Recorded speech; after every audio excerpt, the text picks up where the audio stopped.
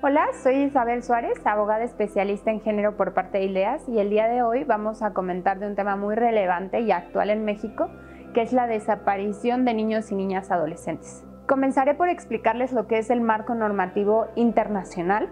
A partir de este se va a crear lo que es el marco normativo nacional y es lo que es la Convención Interamericana y Internacional sobre la Desaparición Forzada la Convención sobre todas las formas de discriminación contra la mujer, CEDAW, la Convención de la ONU de los Derechos del Niño y lo que son llamadas las reglas de Beijing, que son las reglas mínimas de Naciones Unidas de Administración de Justicia de Menores. Gracias a este marco normativo internacional se crea lo que es el marco normativo nacional, comenzando con la Ley General en materia de desaparición forzada de personas y desaparición cometida por particulares, a su vez lo que es el Sistema Nacional de Búsqueda de Personas.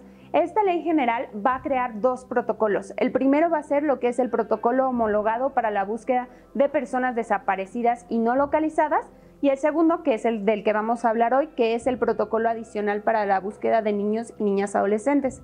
Estos dos protocolos van de la mano con lo que es el protocolo nacional de la lenta AMBER, que va a ser en materia federal, y el protocolo ALBA, que va a ser en materia estatal. El protocolo adicional para la búsqueda de niños y niñas adolescentes es publicado el 15 de julio de 2021 y contempla cinco tipos de búsquedas. La búsqueda inmediata, la búsqueda individualizada, la búsqueda por patrones, la búsqueda generalizada y la búsqueda por familias.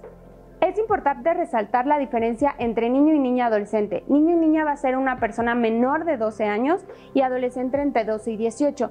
En caso de no tener certeza de la edad, se considerará menor de 12 años. ¿Cuál va a ser la búsqueda inmediata? Va a tener relación con lo que es el artículo séptimo de la Ley General en materia de desaparición forzada y desaparición cometida por particulares.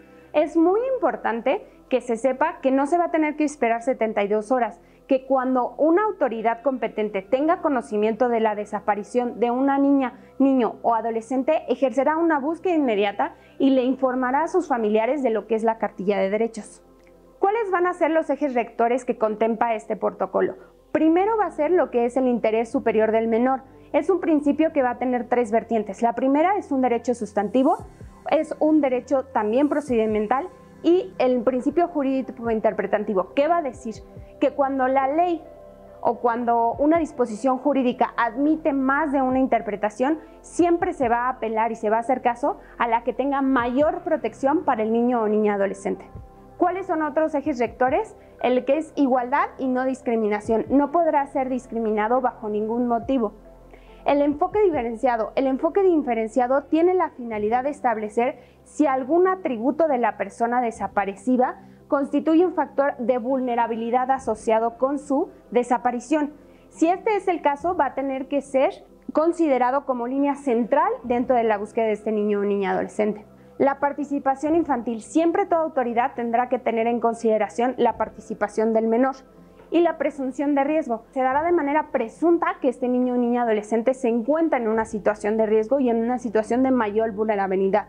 El enfoque de género permite establecer un examen sistemático de las prácticas y roles de poder que podría estar sufriendo esta niña.